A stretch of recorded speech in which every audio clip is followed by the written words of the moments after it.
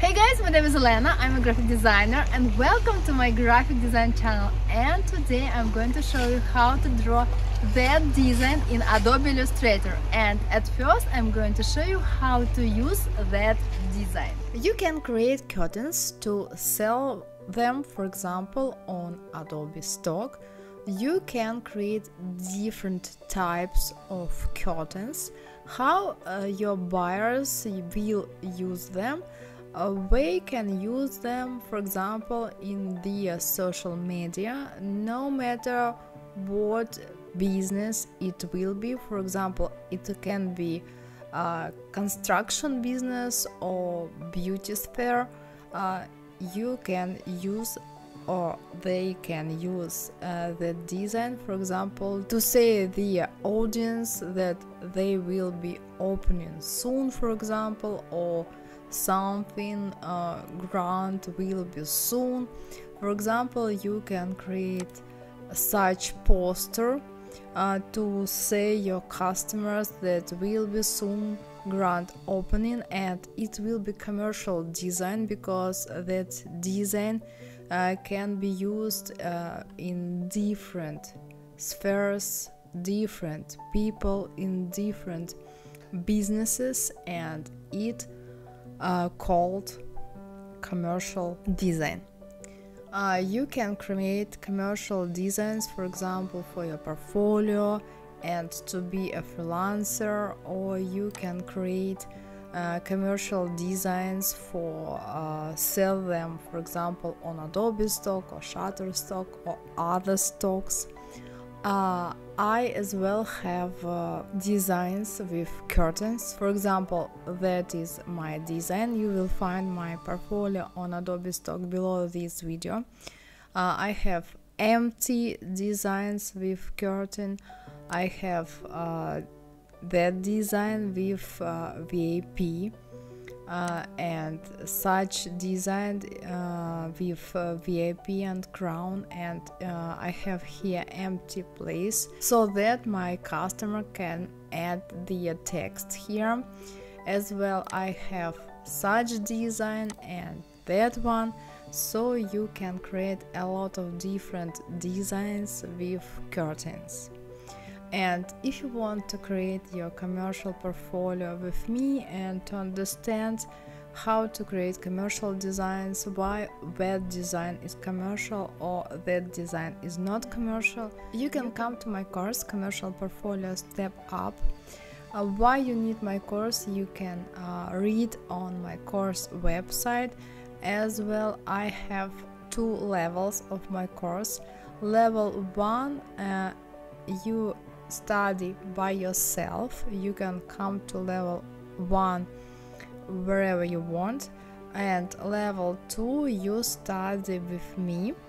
And if you want to study with me the course with my support will be on June 3rd uh, you will see here the button about that you can buy my course uh, so if you're interested to study with me, I take only 30 students every three months.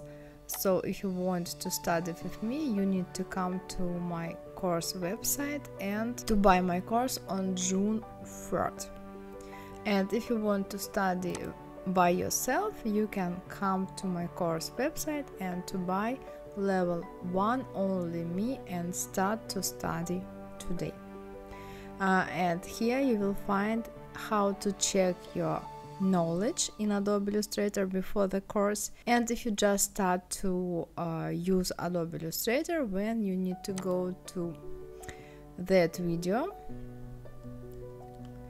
it's on YouTube and to start from my free plan here. And now let's start to draw curtains. This is size of my workspace and these are colors which I'm going to use in my tutorial. And now let's start to draw. My workspace is ready and colors are already in the swatches panel. Let's take a light pink color or red and rectangle tool and create the square like that. Now uh, go to object create gradient mesh here 1 here 24 okay. Now let's take dark red color and put the color straight to the points like that. Okay. Now let's take tool gradient mesh tool. Let's add here one more line and take uh, the red color a little lighter than before. Like this. You can select your own places. It's my vision. Okay and now let's take direct selection tool. Select that point hold shift select that point and this one and move a little to the right. To make uh, your curtains a little unperfect. Some points to the uh, to the right some points to the left. You can move one point or two points it will be more interesting uh, view when it will be not so uh, perfect. Like that.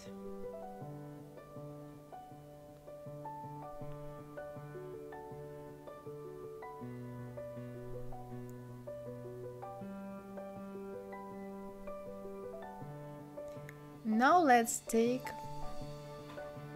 any color and create rectangle or square. Now take radial gradient and we need white color and gray color and opacity multiply. Okay, it's ready if you like, you can always move your gradient. Take gradient tool and you can, for example, move your gradient here or make like this. Add light to the right or, or to the left or to the center or, for example, on the top to move the slider as you like. So you can play with gradient as you like. Okay guys the design is ready. Well guys, that's all for today. Hope you like my tutorial. If yes, give me a like and subscribe and see you in the next tutorial in Adobe Illustrator or in the next videos about a graphic design. Bye bye guys. Mwah. Bye.